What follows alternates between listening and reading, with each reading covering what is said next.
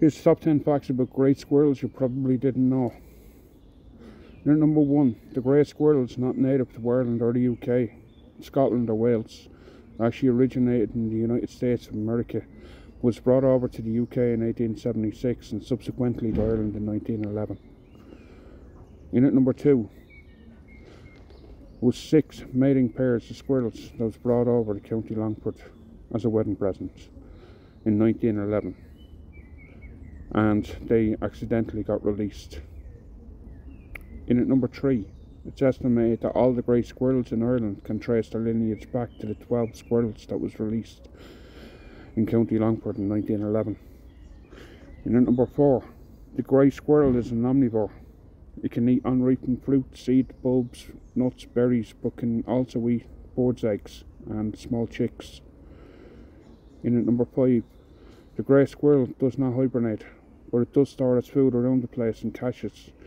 Only comes out of their drays, which is their little homes, in the winter to look for their food stores.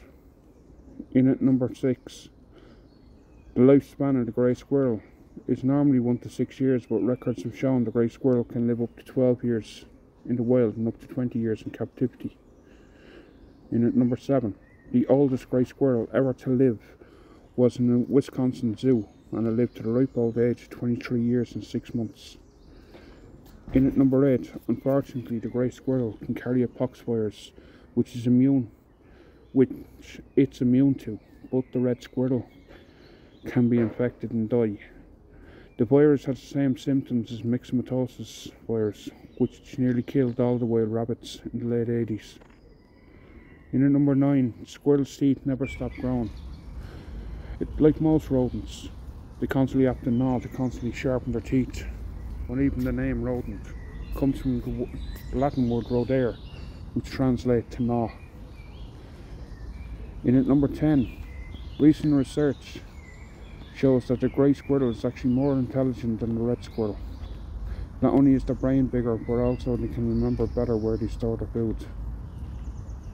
And there's 10 facts to you, but here's a bonus fact for you. The grey squirrel in Ireland has been treated as vermin. Personally, I think they're a beautiful little mammal. But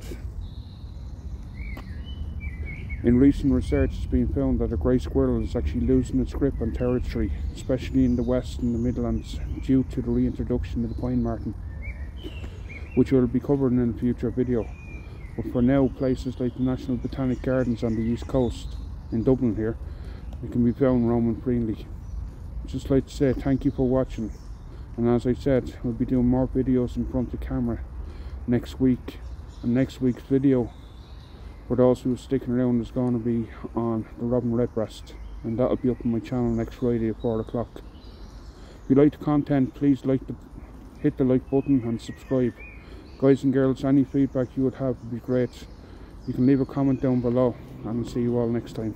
Thanks very much